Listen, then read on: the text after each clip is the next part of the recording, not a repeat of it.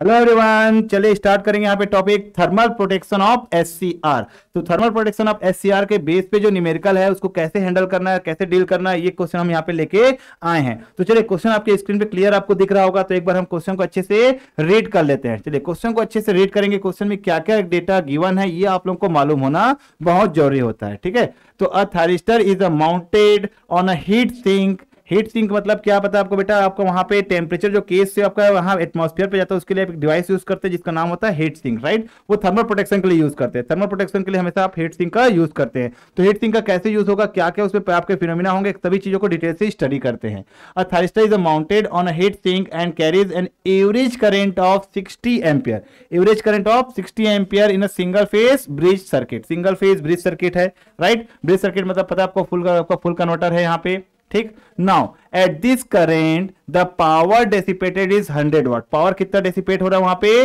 100 वाट तो पीडी कितना दिया क्वेश्चन में? था आपका 100 watt is the maximum case temperature maximum case temperature is not to exceed 70 degree Celsius तो क्वेश्चन को ध्यान से रीड करेंगे, ठीक है? Maximum case temperature is not to exceed 70 degree Celsius right and an ambient temperature of 40 degree Celsius ambient temperature of कितना दिया यहाँ पे?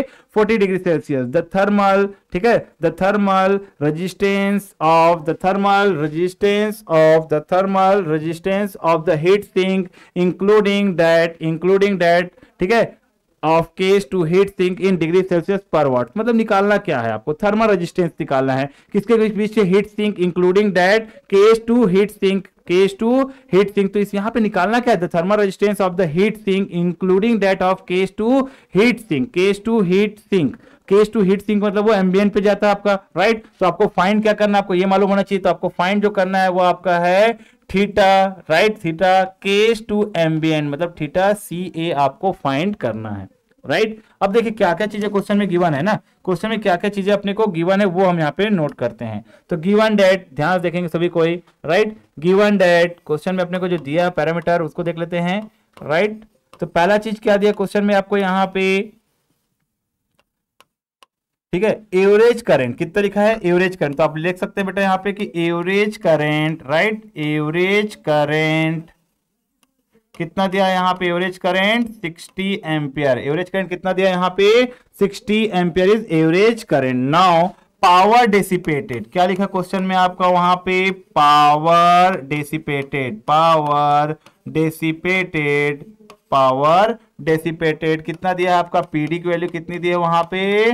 थाउज़ेंड वॉट ये आपका पीडी दिया क्वेश्चन में अपडेट करेगा, देखिए ध्यान से सभी कोई ना यहाँ पे। अब 70 डिग्री से आपका 100 वॉट यहाँ पे दे दिया हुआ है राइट अब आपका यहाँ पे एम्बियन टेम्परेचर बोल रहा है आपका एम्बियन टेम्परेचर आपका एम्बियन टेम्परेचर कितना दिया क्वेश्चन में? आपका 40 डिग्री सेल्सियस राइट right? और बोला है कि case temperature is not to exceed 70 degree Celsius तो थर्मल प्रोटेक्शन हो कैसे रहा? उसके बाद हम थोड़ा सा अच्छे से एनालिसिस कर लेते हैं। तो ध्यान दीजिएगा सपोज़ ये अगर आपका एक एससीआर है तो ये किसके अंदर रहेगा बेटा? आपका केस के अंदर। तो ये क्या होगा? सबसे पहले आपका केस होगा। लेकिन केस के अंदर जो रहेगा, वो आपका एससीआर अगर आप पढ़ते हैं तो P N P N diode पढ़ते हैं। तो ये P N P N diode है, उसके ऊपर केस रहेगा। केस के ऊपर केस के ऊपर आप लगाएँगे यहाँ पे हीट सिंक यहाँ पे क्या लगाएँगे?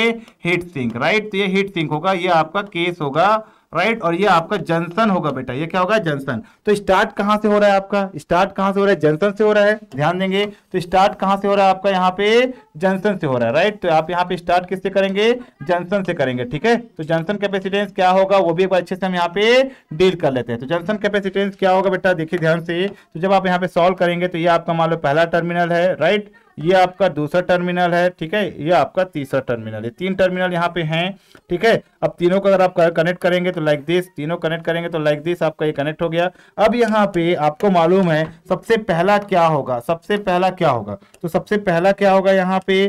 पहला क्या होगा? जंक्शन।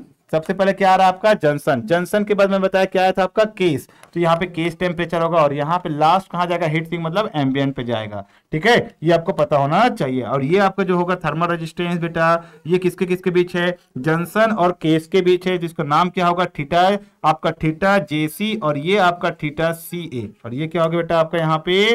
ठीटा सी ए तो ये आपका जेसी हो गया और ये आपका ठीटा सी ए हो गया। हमको फाइंड क्या करना है?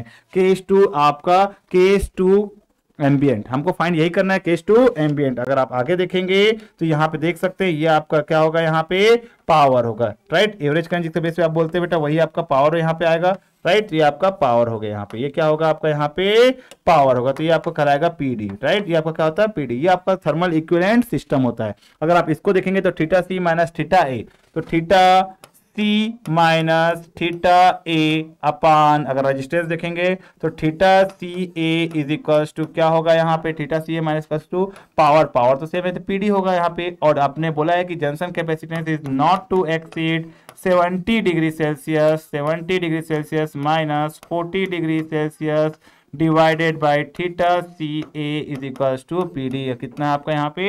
हंड्रेड पी डी कितना है यहाँ पे? हंड्रेड तो डायरेक्ट आपका यहाँ पे सिंपल आपको जो फाइंड करना था थीटा सी ए आपने वो निकाल लिया। थीटा सी ए कितना हो गया यहाँ पे? Thirty degree Celsius divided by ठीक है, थर्टी डिग्री थर्टी डिग्री बोलो बस बस। तो थर्टी डिग्री अपान यहाँ पे हंड्रेड आएगा। इसको आप बोल सकते हैं, ये पावर है, ये आपका डिग्री सेल्सियस है। तो ये क्या आ गया आपका? Point three degree Celsius per watt तो थीटा सी ए की वैल्यू कितनी आई आपकी? Point three theta C A की वैल्यू कितनी आ रही है आपके यहाँ पे? पॉइंट थ्री टाइम्स आपका आपका point three into delta C अपान पर वॉट डब्लू डब्लू मतलब वॉट तो यहाँ पे पॉइंट थ्री वॉट कितना आ रहा है आपका? Point three degree Celsius per watt तो यहाँ पे आंसर क्या आएगा आपका? Point three degree Celsius per watt? Point three degree Celsius बस लिखेंगे पॉइंट थ्री, बस लिखेंगे क्योंकि आपका in terms of degree Celsius per watt आपको ऑलरेडी वहाँ पे गिवन है ऑलरेडी वहाँ पे गिवन है। ठीक है? तो ये चीज़ आपको यहाँ पे क्लियर समझ में आ जाएगा किस तरीके से आपको न्यूमेरिकल यहाँ पे सॉल्व करना तो ये आपका न्यूमेरिकल कंप्लीट हो जाएगा। तो ये पहला न्यूमेरिकल आपने यहाँ पे कंप्लीट सॉल्व कर लिया। फ़र्स्ट न्यूमेरिकल आपने यहाँ पे कंप्लीट सॉल्व कर लिया। तो ये चीज़ों को आपको अच्छे से यहाँ पे पता होना चाहिए कि किस तरीके से आपको क्या क्या क्वेश्चन को सॉल्व करना है और कैसे उसको अटेम्प्ट करना है। राइट तो ये हो गया क्वेश्चन नंबर वन हो गया हमारा। ठीक है?